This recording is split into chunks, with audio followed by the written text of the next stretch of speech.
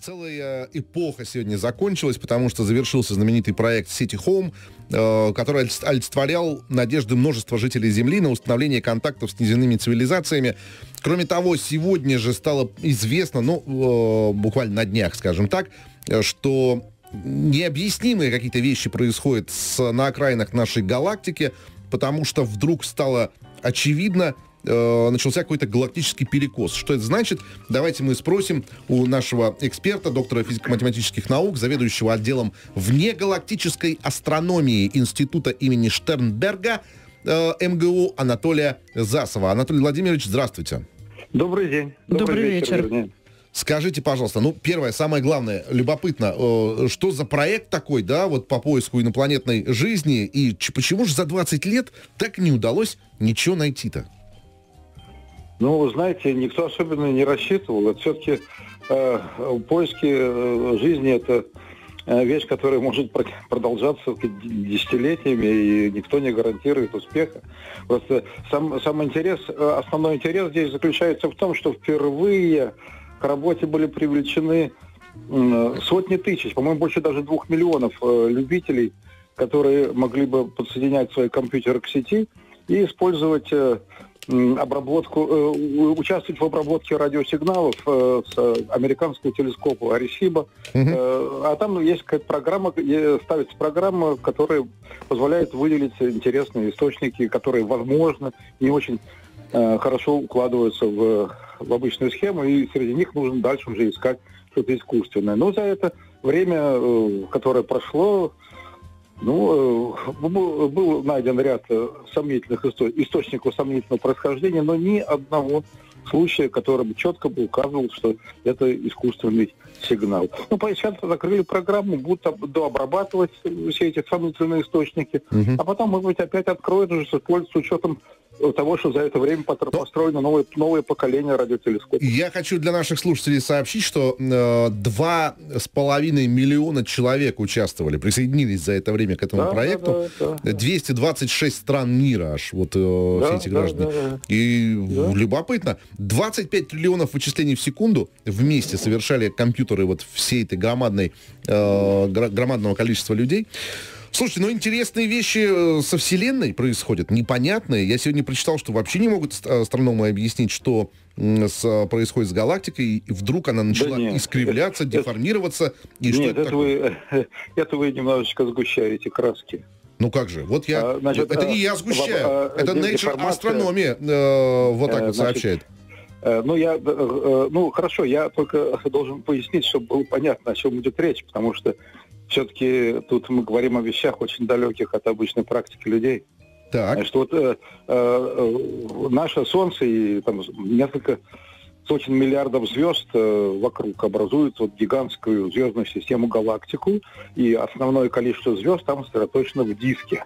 И Солнце тоже мы с вами живем в диске галактики. Угу. Диск, диск галактики имеет какой-то размер там в десятки тысяч световых лет по радиусу, там, э, э, ну, по некоторым представлениям даже больше ста тысяч uh-huh. световых лет.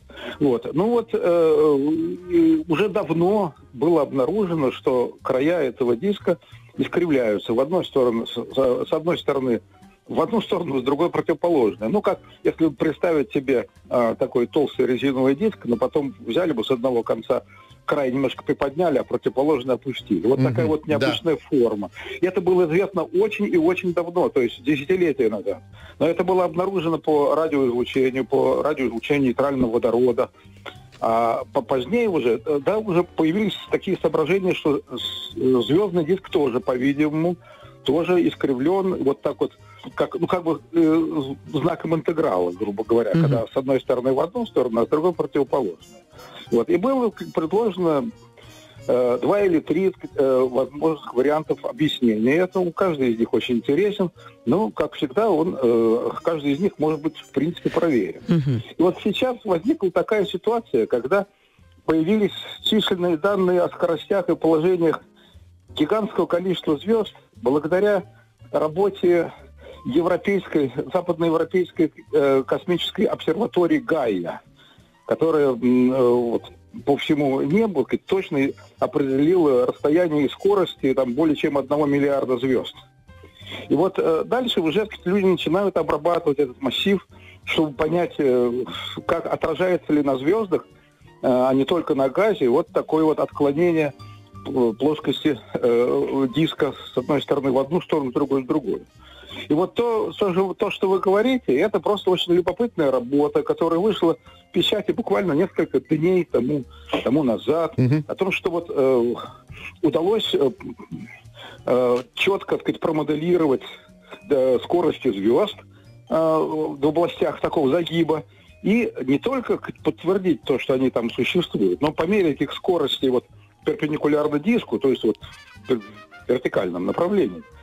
И более того, получили они, что вот этот вот изгиб – вращается в ту же сторону, что и галактика, но э, чуть быстрее, чем диск галактики. Вот Анатолий вот, Владимирович, вот, вы нас успокоили. Во-первых, хоть, хоть по поводу да. галактического перекоса переживать не надо, а то тут тебе и коронавирус, и Идлип, и Тинькофф, все не слава богу. Вот. Да, ну, ну что вы, а, не переживайте. Все, это, за вселенную мы спокойны. Это, это, это очень интересно. Я могу только добавить, чтобы уж, как бы, быстрее подойти к концу, да. к развязке, угу. что э, э, проверяя предложенные гипотезы, гипотезы, сказать, э, авторы этой статьи, а статья была опубликована, там основной, э, главный автор это, э, это, это Элоиза Поджио.